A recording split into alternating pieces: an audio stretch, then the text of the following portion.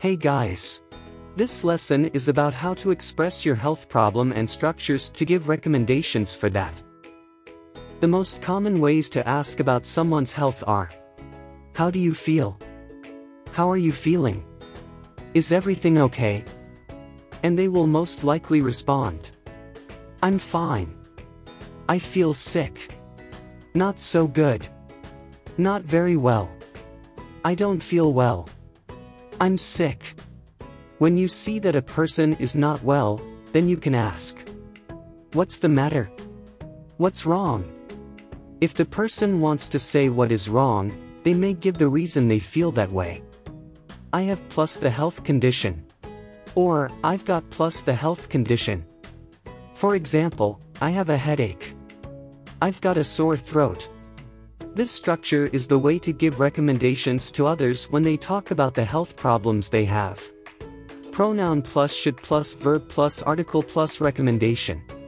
Let's see how it works in conversations. Oh god. My skin itches so bad. It feels like something is biting me. Oh. I think you should visit a doctor and take some allergy medicine. I have a sore leg. What should I do? I would rest as much as possible if I were you. Oh. I got a really bad sunburn. I really should have applied some sunscreen. Yeah. And you should drink plenty of water to cool it down. Hello, doctor. I have a sore eye. Could you please help me? Let me see. You should use eye drops that reduce inflammation. I've got a bad earache. What should I do? You have to visit a doctor as soon as possible. Oh look. George you just cut your hand. You should clean it and apply a band-aid on it.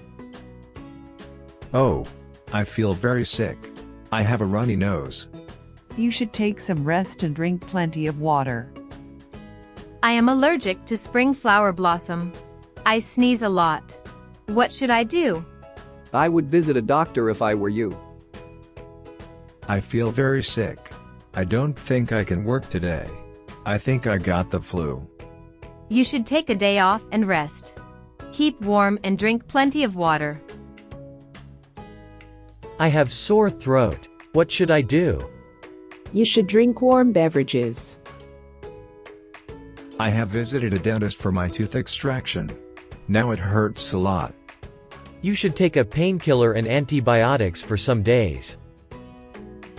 I feel a bad hurt in my chest. Do you think I have a heart disease?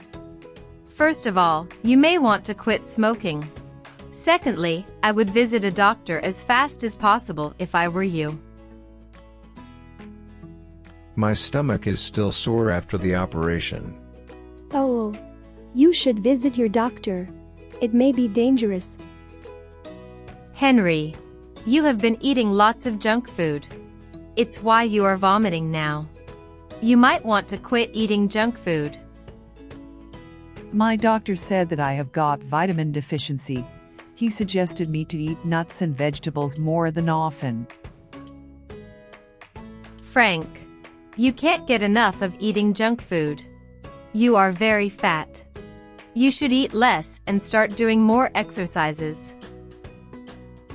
I can't stand on my feet. Because my back aches too bad. What should I do? You should take a painkiller and start doing some back exercises. I can't play football anymore. I have a broken leg.